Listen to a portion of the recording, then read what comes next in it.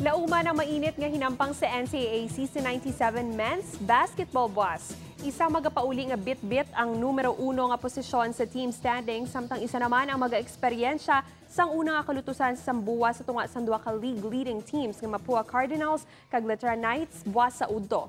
Balantayan man ang second game sa tunga sang San Beda Red Lions nga magatingwa man nga maprotehera ng ila malimpyo nga record batok sa San Sebastian Golden Stags.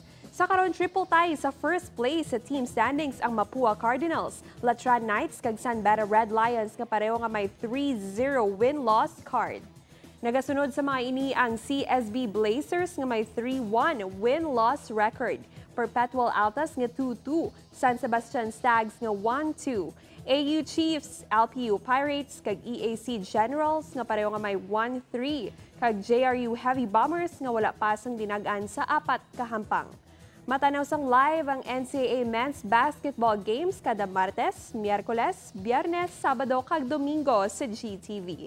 Matanaw man ang mga replay sa mga hampang kada Lunes kag Webes.